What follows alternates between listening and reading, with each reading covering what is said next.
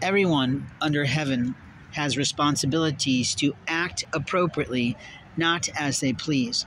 When we talk about acting appropriately, we know what's expected by society. We know what the laws are in our variety of life. You see, every life has a different lifestyle, but every lifestyle is often governed by the performance and productivity and profitability of a job. You see, most people get up in the morning and go to work. They go to work for the simple purpose of we have to earn.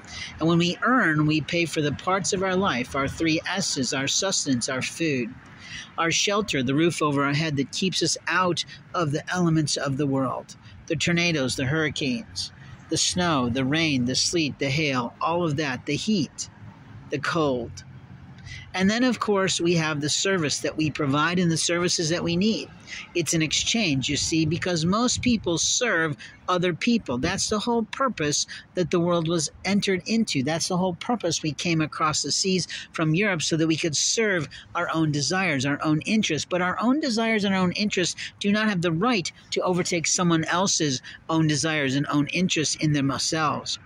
You go out and make the life for yourself. And if you fail to do that, that's on your life. There is so much educational information that's out there that there should be no reason that someone should be out there complaining about what they have and what they don't have. But when you start to impede someone else's life, they absolutely have the right to report your interference.